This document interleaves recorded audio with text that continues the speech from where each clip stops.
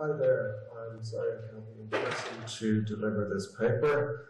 Uh, my connecting flight to Graz was cancelled because of thunderstorms. Um, so I'll be arriving uh, in the afternoon on uh, Wednesday. So uh, if you'd like to talk to me about this paper, please find me or contact me through the conference app. Unfortunately, I won't um, be able to participate in the online discussion because I'll be on my flight uh, at that very time. So I'm here to uh, present a paper about a research project called Úrscéal. So I'm sharing my screen right now. Hopefully you're able to see um, these slides. So um, 1901 uh, saw the beginning of the novel tradition in the, the Irish language. It was a laggard by the standards of its European neighbours.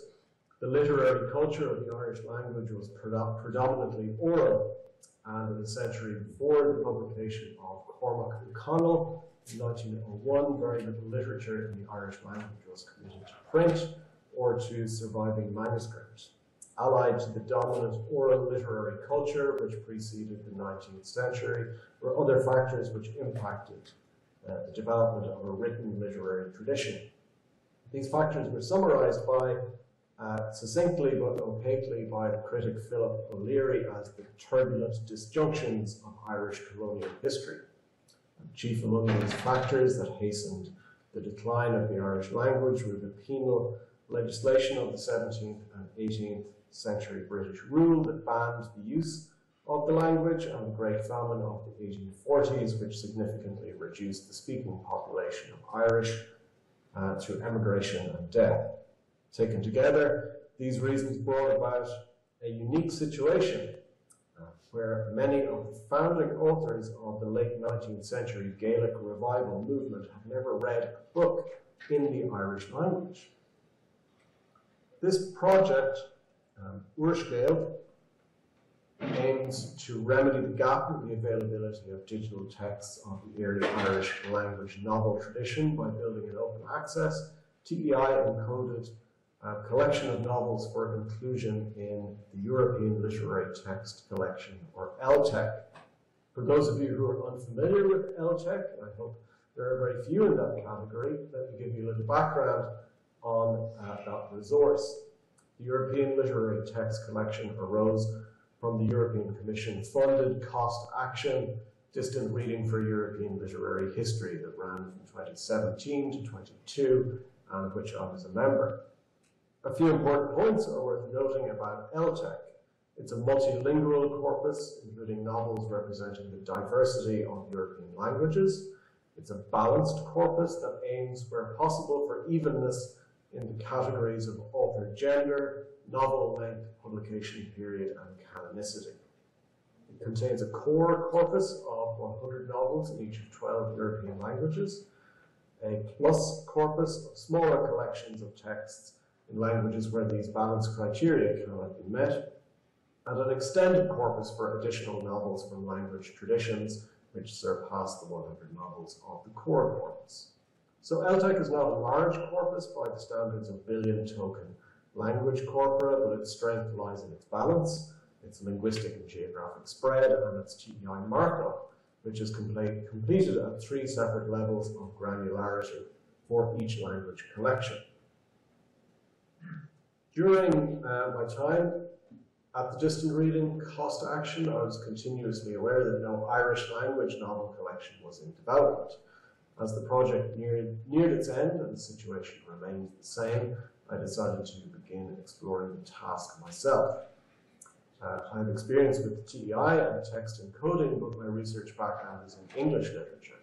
My knowledge of the Irish language and literature is, is limited. So after some preliminary research and some valuable conversations uh, with colleagues in the Irish department in Galway, I applied for seed funding from the College of Arts to appoint a part-time research assistant for six months. And Dr. Padraig O'Mahuna, scholar with backgrounds in the Irish language, folklore and diaspora studies, joined the project in January of this year and completed his, his contract last month. So So to build a collection of the Irish language novel in the period leading to 1920, we first need to enumerate the novels published during these years and establish a workflow for digitizing and encoding their texts. After consulting relevant bibliographies and library catalogues and the work of major critics in the field, we identified 16 novels published between 1901 and 1920. So again, this is a low number. This is in keeping with the fledgling development of the form and of formal print publication in the language. Of these 16 novels, um, digitized versions of 10 appeared in the Corpus na Gaeilge of the Historical Irish Corpus, a collection developed by the Royal Irish Academy containing more than 3,000 texts published in the Irish language between 1600 and 1926. We downloaded the TEI text from that corpus with the permission of the Royal Irish Academy and modified the encoding to fit the ELTEC schema uh, with a combination of automated transformation and manual encoding. Printed copies of the remaining novels in our list are held at the University of Galway, which has strong holdings in Irish language literature uh, across the centuries. The library's digitization unit scanned these novels and we manually transcribed them before completing ELTEC conformant encoding. Why not OCR? Sense you're all wondering. Well, the reason for this is that early Irish printing had a unique, used a unique font called Cló Gaelach, uh, or Gaelic type, until the middle of the 20th century. And this font uh, is derived from the manuscript hand of classical Irish, uh, and, um, no software currently exists for OCR. Uh, and in the course of our work, we learned of a project that is currently developing such a resource uh, in a collaboration between NYU and the University of Galway. But we decided in the interest of relative speed to press ahead with our manual transcription. The lack of suitable OCR software was an obstacle that slowed the process somewhat, but had the associated benefit of enabling us to get to know the novels in more detail while transcribing. This process helped Padraig and me to formulate research questions about neglected texts and to note his interest in linguistic and dialectal variations uh, within and between these foundational novels. No technical challenges or obstacles were insurmountable, uh, but the process is taking more time than we had expected. This is, is still a, a work in progress. Similar projects should plan for a process that is, is slow and, and painstaking, but to prepare a corpus that is accurately transcribed and encoded, it's important to get the details right. So this corpus does not meet the balance criteria of ELTEC, so it is included in the PLUS collection. But some of the reasons for its imbalance point to potential areas of research interest. One of the initial activities of distant reading cost action was to survey different definitions of the novel from across Europe uh, in this period, from 1840 to 1920, examining how different national traditions viewed the generic, stylistic, formal, and practical parameters of the form. The Irish corpus provides evidence for further comparative analysis of these questions in the European novel tradition.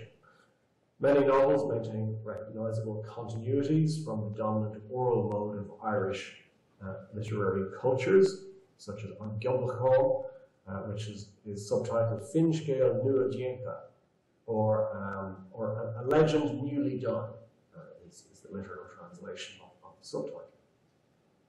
While a minority aim to grapple with modernity and imagine a distinct new model for the Irish language novel, Notably, the name of this project, Úrscéal, is the Irish word for novel. It translate, translates literally as fresh story.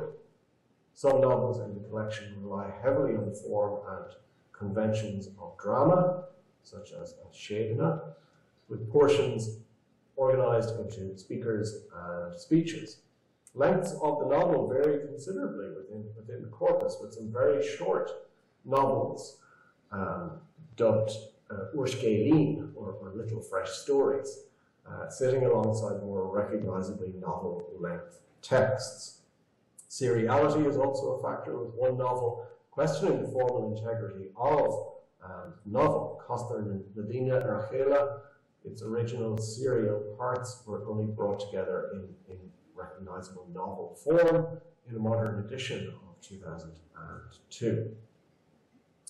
So, um, this project continues to be a work in progress, as I mentioned. We're more than halfway through, including the collection at the first level of granularity, and it can be accessed through ELTEC and through the project's own website.